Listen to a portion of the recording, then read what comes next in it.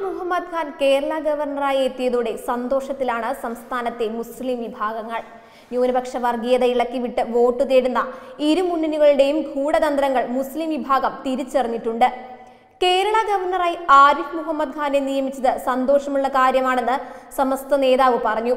ഉന്നത സ്ഥാനത്ത് ഒരു മുസ്ലിം വരിക എന്നുള്ളത് മുസ്ലിങ്ങളെ സംബന്ധിച്ചും പ്രത്യേകം പിന്നോക്ക വിഭാഗങ്ങളെക്കുറിച്ചും ഏറെ സന്തോഷമുള്ള കാര്യമാണ്. ആ നിലയ്ക്ക് ഏറെ സന്തോഷത്തോടെ ഗവർണറെ സ്വാഗതം ചെയ്യുന്നു.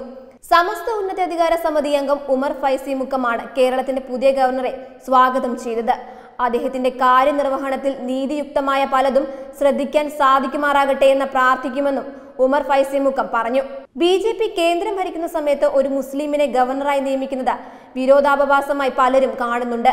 അതിന്റെ ആവശ്യമില്ല. ബി ജെ പി മുസ്ലിങ്ങളുടെ നിത്യശത്രുവായിട്ട് ആരും കാണുന്നില്ല. മുസ്ലിങ്ങൾ കാണുന്നില്ലെന്നും അദ്ദേഹം പറഞ്ഞു. നല്ല ഭരണം കൊണ്ടുവരികയാണെങ്കിൽ സ്വാഗതം ചെയ്യും. ചില പരിപാടികളിൽ വിഷയങ്ങൾ ബി ജെ പിയുടെ എതിർപ്പുണ്ടാവാം. എന്നതല്ലാതെ എല്ലാവരെയും സന്തോഷിപ്പിക്കാൻ കഴിയുന്ന ഭരണം ബി ജെ പി കാഴ്ചവെച്ചാൽ എന്താണ് പ്രശ്നം?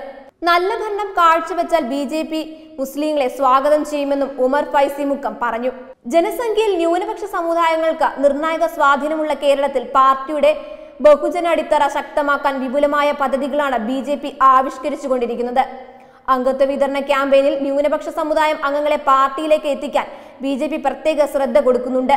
കോൺഗ്രസ് നേതാവ് എ പി അബ്ദുള്ളക്കുട്ടി മുസ്ലിം ലീഗ് സ്ഥാപക നേതാക്കളിൽ ഒരാളായ ബാഫക്കി തങ്ങളുടെ കൊച്ചുമകൻ സയ്യിദ് അബ്ദുൾ റഹ്മാൻ ബാഫക്കി എന്നിവരെ പാർട്ടിയിൽ എത്തിച്ചുകൊണ്ട് ഈ നീക്കത്തിൽ ചെറുതല്ലാതൊരു തുടക്കം കുറിക്കാനും ബി കഴിഞ്ഞു.